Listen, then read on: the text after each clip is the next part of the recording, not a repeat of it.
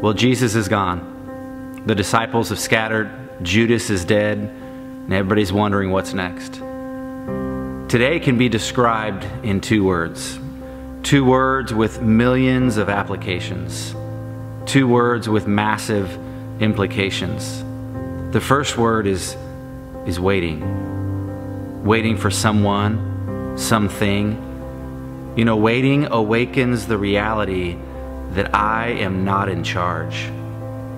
Waiting affirms the truth that I am not in complete control. Otherwise, I would wait for no one, for nothing. But I find myself waiting today.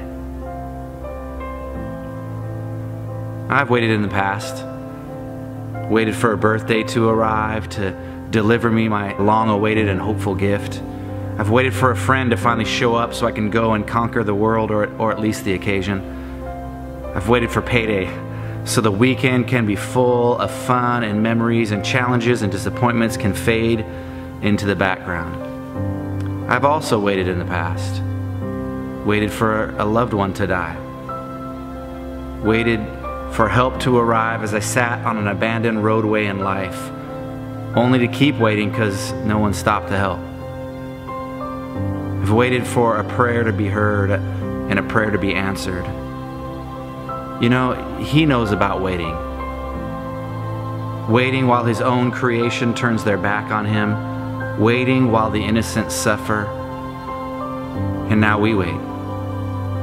Hebrews chapter 2 says, Since the children have flesh and blood, He too shared in their humanity, so that by His death, he might destroy him who holds the power of death, that is, the devil, and free those who all their lives were held in slavery by their fear of death. So today we wait. We wait and we wonder what he's going to do next. The second word that describes this day is empty. You know, the cross sat empty as I looked up on the hill. It was stained. The cross's shadow seemed to stretch farther than it did yesterday. It's, it's empty. Empty like the crowd's hope filled dreams of being on the side of the conqueror for once.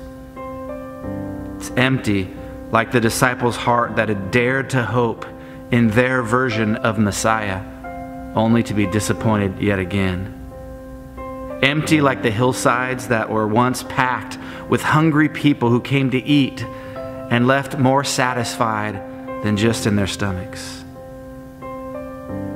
I believe that we understand empty today, maybe a little bit more than we have in the past. Empty, empty classrooms, empty offices, empty sanctuaries, empty playgrounds empty homes and, and empty hearts.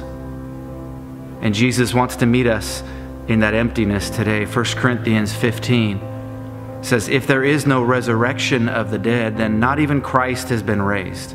And if Christ has not been raised, then our preaching is useless, and so is your faith. And if Christ has not been raised, your faith is futile.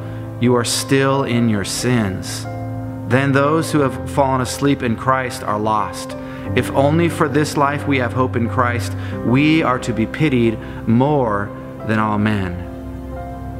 You know, uh, as great as the sacrifice of Jesus on the cross was, today is a day we remember what life would have been like if Jesus hadn't come back to life.